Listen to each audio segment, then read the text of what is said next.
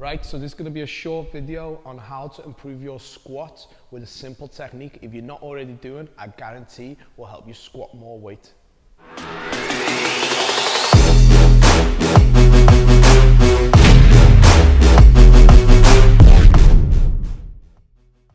Right, so the tip for today is inter-abdominal pressure.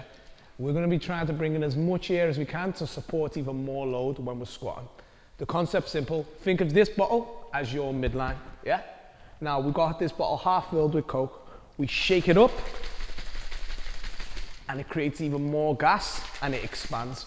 Once it expands and we stand on it, notice the bottle will keep its shape. Now what would happen if we took that air, air lid off and let the air out? The bottle would lose its shape. Same thing with our midline. We want to breathe in, suck as much air as we can into that midline. So when we've got a heavy weight on our back or in the front squat position or goblet squat, our body keeps its shape. Yeah?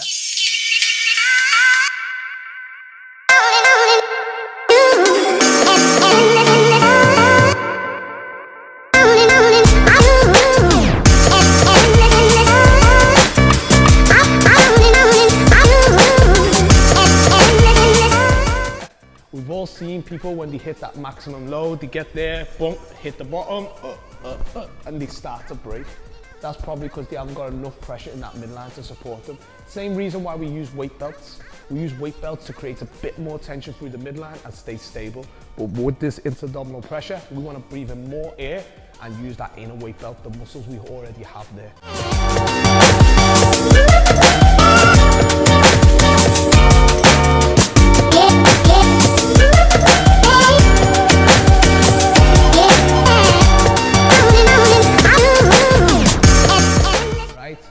When going over this technique with clients, I've had them ask, where do I breathe then? If say you're doing a set of 10, where should you breathe? I've had some people say, breathe out as you're coming up.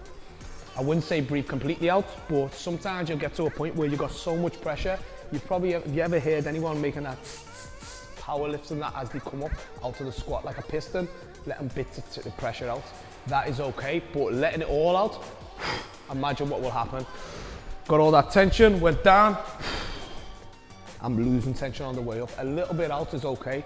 Me, I prefer to hold it all the way through. I take my second breath at the top. So here's a little example how it looks when I do. In position, I'll step back, feet in position from there, take that breath, lock in.